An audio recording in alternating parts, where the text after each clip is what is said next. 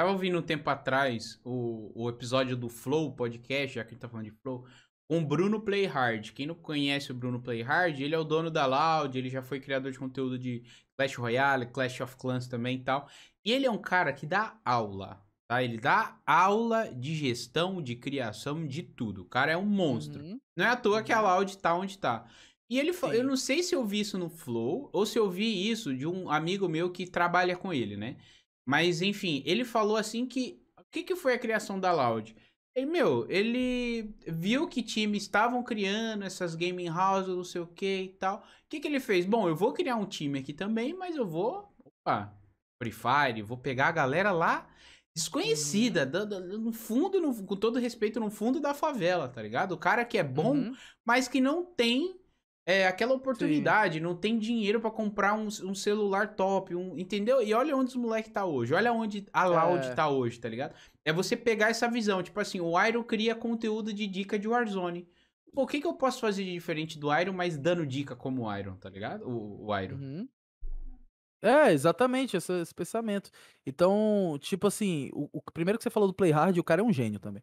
Sim. O cara é, é- é muito inteligente. E, e, tipo assim, quanto mais você se aprofunda, mais você vê certos criadores de conteúdo que você via apenas como youtubers, e você pensa, esse, cara é um gênio, mano. Exato. Só que você só, você só tem esse pensamento quando você entende.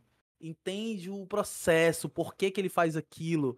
Um por exemplo, o Peter do Ei Nerd, hoje em dia eu já vejo aquele cara, eu fico, mano, esse cara é.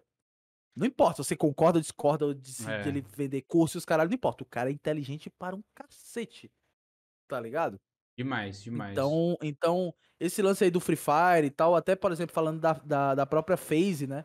Tem gente que fala, Iron, mas o. Tem gente que fala pra mim, e a FaZe, mano? Você acha que a FaZe é um time.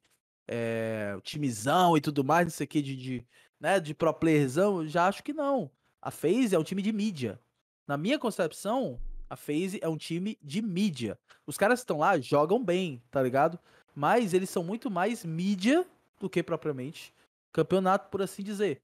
Então, Tu vê pelas collabs e pelos patrocínios que eles têm, né? Nissan. collab, pelos ligado? patrocínios, exatamente. Então, isso vai ser cada vez mais comum, cara. Ainda vai acontecer um aqui no BR, um clã, entre aspas, grande, né? Onde as pessoas. Só que pra você criar um clã desse, pra você criar um clã com estrelas, com pessoas boas e você fazer. Primeiro você tem que ter uma equipe de marketing. Você tem que ter uma inteligência, ser um cara muito, tá ligado? Ser um cara muito Uhum. gênio do marketing e não pode ter panela também. Não pode ter panela, não pode ser só os seus amiguinhos que vai, tem que ser, tem que botar, mano, tá ligado? Fulano, cicrano, não sei quem, fazer toda aquela parte de glamour, de, de, de tryout pra ver quem vai entrar, que nem a FaZe faz a panela deles, né, de a peneira que eles fazem da FaZe lá pra ver quem vai entrar, e é, e é um evento lá na É um gringa, ver quem- evento. ah, eles estão na panela Phase do five, 100, né? então... É, Phase 5, quem são, desses cinco, quem é que vai entrar? É quase o- o, É um reality show, basicamente. Club, né? É um reality show.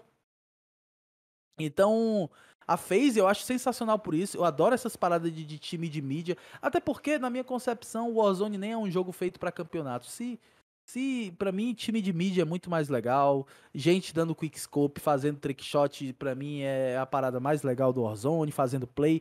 Porque campeonato, mano, sinceramente, no Warzone nem combina, entendeu? Nem combina. Campeonato totalmente voltado pra RNG, voltado pra sorte. Depende de aonde a safe vai fechar, depende de quem se movimentou primeiro pra tal canto que você não sabe, se você vai ser sanduichado ou não. Tem muito conceito de estratégia, mas ao mesmo tempo é, é um campeonato muito, muito complicado. A gente que tenta forçar esse competitivo aí, mas na real o Warzone nem é um jogo muito pro competitivo. Não é feito pra esse propósito, né? Então, realmente.